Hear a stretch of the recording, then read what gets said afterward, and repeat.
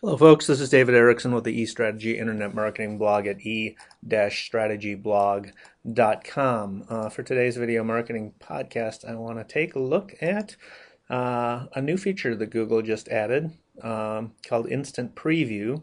And what it is, is image previews. So um, I'm going to do a search for a blog that I know, my own blog, Minnesota Vikings Chat hit return and now you'll notice that there is a magnifying glass next next to the search results. See that? So if I click on that you get a preview of what the web page uh, for that search result actually looks like.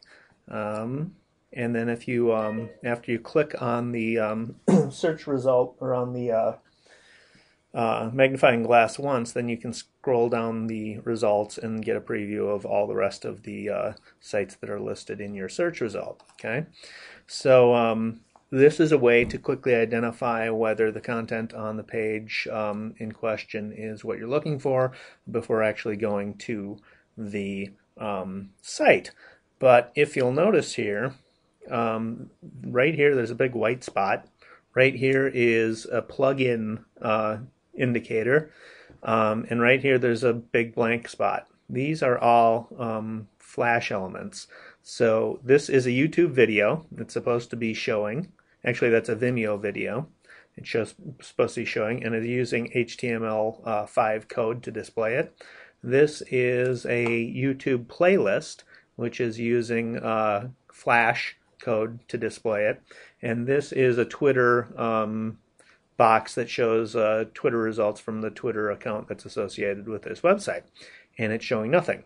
So uh, the technology is not quite ready for prime time in as much as it's showing uh, it's not showing content that's on the page. Uh, this you can see. Uh, this is a photograph, so that's just a JPEG. Uh, here again is the the uh, video playlist from YouTube. Here's the Twitter results, the Twitter box, but the ads, of course, Google's ads are showing. So uh, Google AdSense ads are showing perfectly. Um, but it is missing content there. So if you have a video heavy site, like my video blog, daily video blog, okay, then you're going to get that so uh, so there's a problem with that because people make um, decisions on uh, evaluating a website uh, within seconds based on its visual appeal.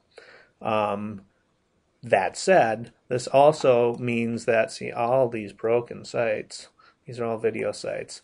Uh, that said, these um, these um, let's just try Minnesota Vikings. These previews um, make it all the more important for your site to be visually appealing, to be aesthetically appealing, because people now don't even have to visit it to determine whether uh, whether there is a uh, there is credibility based on the design.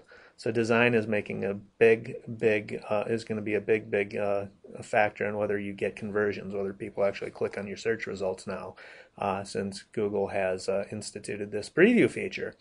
Um, hopefully, they'll get the plugin in the uh, video uh, issue fixed. because it's going to be a problem for a lot of people, not just me. so there it is Google's video preview or Google's image preview search. It is uh, available now. I don't know if it's been rolled out across all users, but I've got it. So there you go. This has been a video podcast of the eStrategy Internet Marketing blog at e-strategyblog.com. Come visit. Uh, when you're here, make sure to subscribe to the news feed up here uh, so you don't miss any uh, posts. You can find me here, or you can find me on Twitter at d erickson.